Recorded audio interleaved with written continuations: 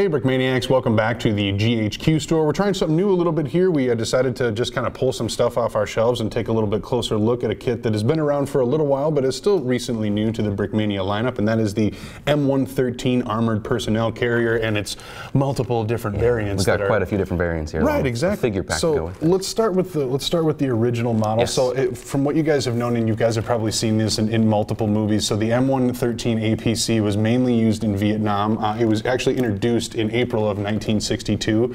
Um, it was kind of like a so, some, something to get troops from point A to point B, but without having to have some sort of huge artillery firepower, just enough basically to protect the vehicle itself, but also make a difference in the field. And then it was uh, it was well equipped to handle anything that uh, you know something like a jungle terrain or uh, really any sort of terrain, urban or otherwise, um, could throw at it. Uh, it you know kind of had a boxy shape to it because it was supposed to hold pretty much the maximum amount of crew members that it could. Um, so it was it was utilized throughout that entire war, and uh, it was. Get it. Sorry. there we go.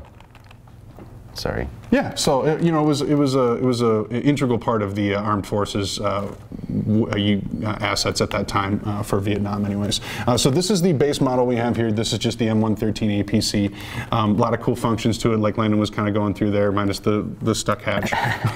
Whoops. Um, but there's a you know there's a cool interior to it, so you can fit kind of your whole crew in there. Um, and then there's also some hatches on the tops and, and sides and, and, front even yeah. for, for going into water and all that kind of stuff. But then what's really cool about this is it is kind of one of the modular Brickmania models, and so you can build from there.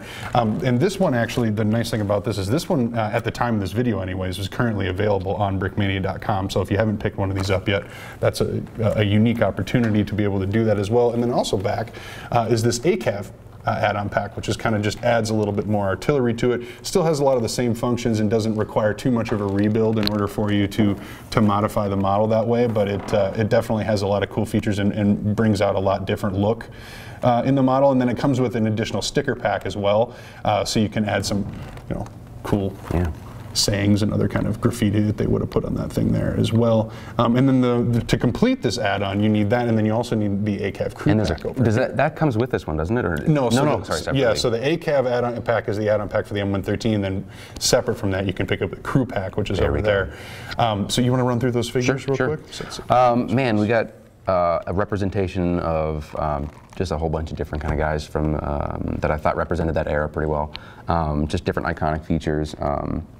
Um, uh, just sort of as as I was going through photographs, I just noticed like everybody's kind of wearing something a little bit different, and and um, they're just young guys out in the field, um, kind of you know. Uh, I'm sure they're bored to death sometimes, and I'm sure they're scared to death sometimes. It was a crazy, crazy war.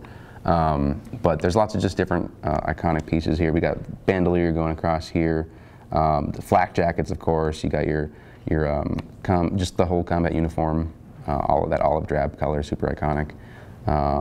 Um, that flashlight with a little red cap on mm -hmm. there. Mm-hmm. Um, I love the uh, the glasses there, the uh, the goggles, right? Um, another iconic thing of that era, I thought.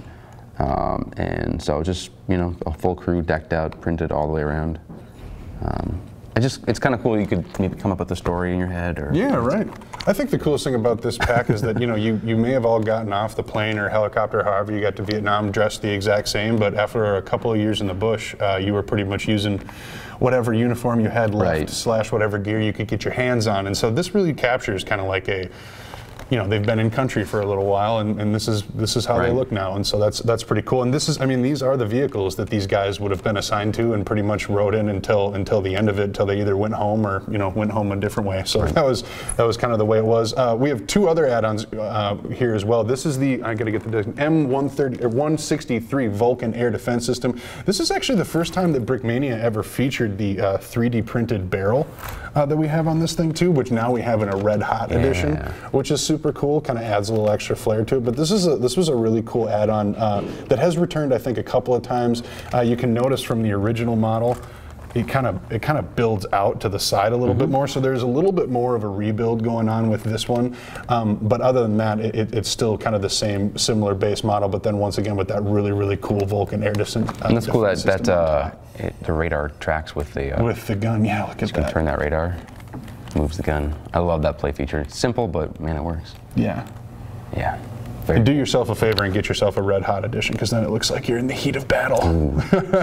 so that looks awesome. Uh, and then finally, we have the M557 uh, command unit. So this one, let's see if I can do this here. Yeah.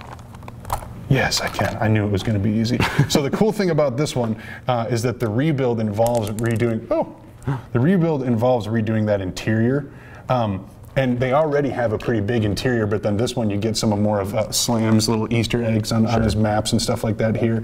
Uh, and then they built the what do they call that the the thing you look through. Periscope, Periscope, periscope? yeah. So they, they kind of built that down in there too, and then this would have been, you know, the, the, the top unit that goes on there. And so that, as you can tell from the uh, from the original one, is also a little bit bigger. So a bit more of a rebuild going on with that one, but you get the cool interior, and then like you saw, you know, removing it is super easy, and so that makes it a really really playable model. So these are all the variants of the Brickmania M113. Once again, the original M113, the ACAV add-on pack, and the ACAV crew pack are, the time of this video anyways, available online at brickmania.com. Otherwise, you will see these coming back in the future as well. Um, so let us know in the comments if you like this. Once again, we just had some extra time and decided to take another look at these because we think they're awesome. Um, and so let us know if you thought it was awesome as well. Otherwise, uh, stay tuned and uh, we'll have a little bit more content here from uh, Brickmania TV.